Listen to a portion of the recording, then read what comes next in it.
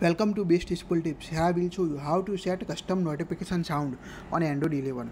Pull down notification panel at top, tap on chatting gear icon, tap on a sound, scroll down up to end, tap on advanced. Here you can see phone ringtone default notification sound. Tap on a default notification sound. Here you can see different sound in your Pixel. Tap on my sound. Here you can see plus icon at bottom right. Tap on a plus icon. Now select uh, file from your phone you want to set. You can also here choose download drive you want in your device.